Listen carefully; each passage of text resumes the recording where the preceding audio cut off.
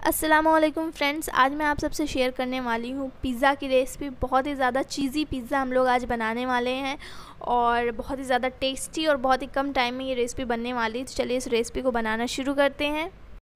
इस रेसिपी को बनाने के लिए सबसे पहले हमें यहाँ पे लेना है टोमेटो केचप तो आपको जितना लेना हो टोमेटो केचप उतना आप टोमेटो केचप ले सकते हैं और फिर हम इसमें डालेंगे थोड़ा सा कुटी हुई लाल मिर्च। अपने तीखे के अकॉर्डिंग आप यहाँ पे लाल मिर्च ले सकते हैं। तो अभी इन दोनों को अच्छे से मिक्स करना है।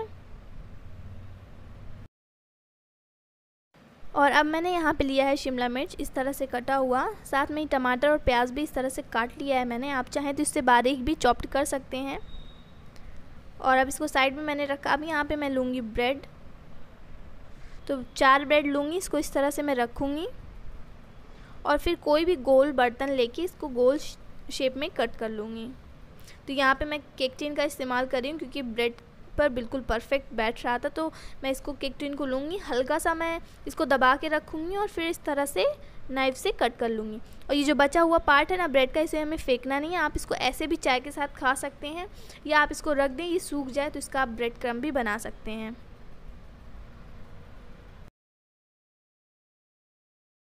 और ये देखिए, इसको मैंने कट कर लिया है। अभी क्या करना है, हम लेंगे पैन।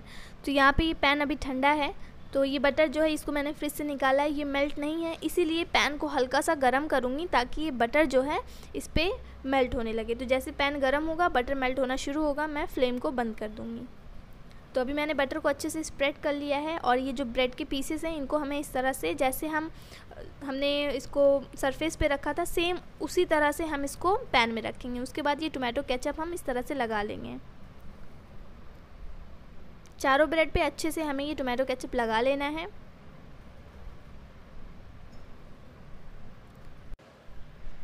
चारों ब्रेड पे मैंने टोमेटो केचप अच्छे से लगा लिया है और अब मैं इस पर डालने वाली हूँ ये चीज़। तो ये मैं मार्केट से लाई थी ऑलरेडी इस तरह से कटा हुआ था। आप मोजरेला चीज़ को कद्दूकस करके इस तरह से यूज़ कर सकते हैं। तो अच्छे से मैंने चीज़ स्प्रेड कर लिया आप देख सकते हैं, बहुत ही अच्छे से स्प्रेड किया ज़रा भी कंजूसी नहीं किया है।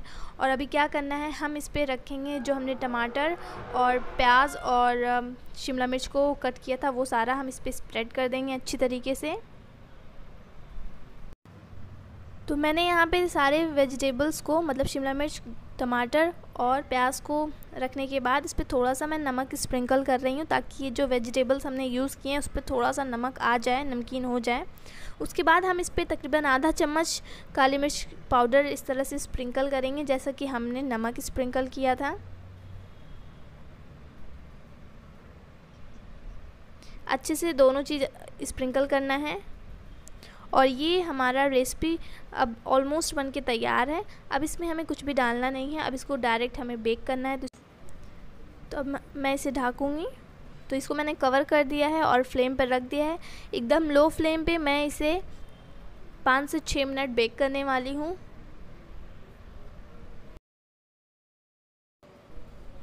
और ये देखिए टोटल छः मिनट इसको मैंने बेक किया और आप देख सकते हैं चीज़ बहुत ही अच्छे तरीके से मेल्ट हो गया कितना ज़्यादा चीज़ी है हमारा पिज़्ज़ा बना हुआ है। बहुत ही टेस्टी लगता है खाने में, आप इसको एक बार ट्राई ज़रूर करिएगा। और इसी तरीके से आप इसमें और वेजिटेबल्स डाल सकते हैं और अपने बच्चों को जब आप खिलाएँगे ना, ये हेल्थी भी बहुत ही ज़्यादा क्योंकि इसमें हमने कई तरीके से वेजिटेबल्स का भी यूज़ किया है। तो उम्मीद करती हूँ, आपको ये वीडियो पसंद आई होगी। जल्दी मिलती हूँ एक और नई वीडियो के साथ। अल्लाह हाफिज़।